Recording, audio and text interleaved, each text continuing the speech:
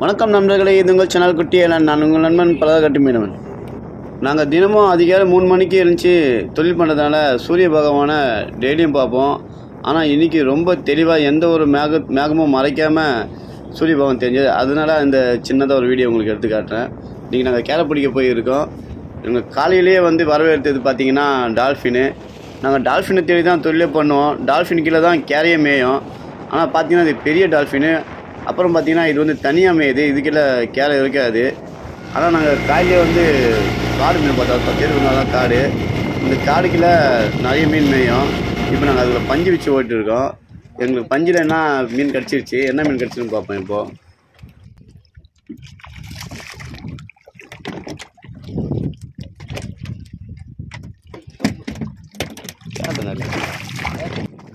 இப்போ எங்களுக்கு கிடைச்சதெல்லாம் சின்ன சின்ன கேரைங்க பார்த்தீங்கன்னா இது ஒரு கிலோ ஒன்றரை கிலோ சைஸில் தான் இருக்குது இந்த கேரை. அதில் ஒரு கேரை கீழே வந்துடுச்சு முள்ள திஷா. பத்துக்குது முள்ள அது போச்சுடா முள்ள இருக்குல்ல.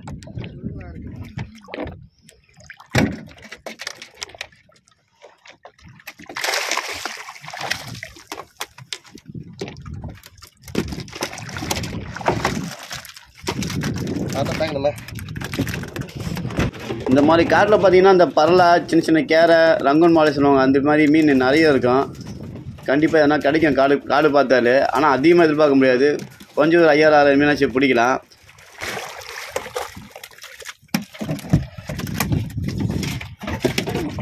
அது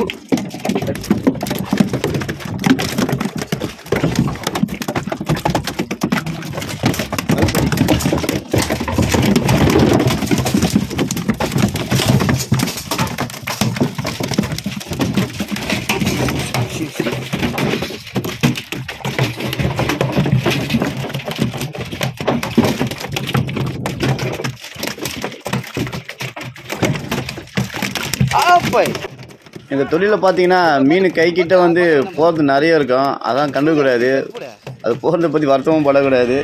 மீன் பிடிக்க தான் போகணும். அடுத்தடுத்து நாங்கள் இதே மாதிரி தொழில் பண்ணிட்டே தான் இருப்போம். மீனுக்கு அதிகமாக கிடைக்கிற வரைக்கும் பண்ணிட்டு தான் இருப்போம். மீன் கொஞ்சிச்சுன்னா அப்புறம் நாங்கள் வேறு மீன் பிடிக்கிறதுக்கு கிளம்பிடுவோம்.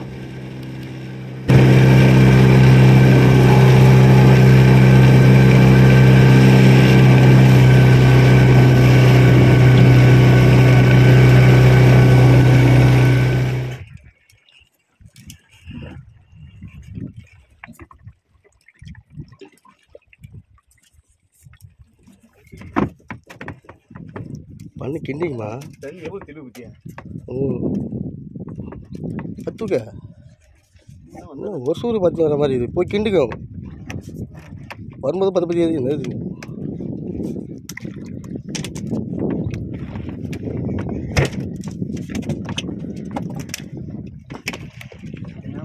கண்ணு முடி வச்சா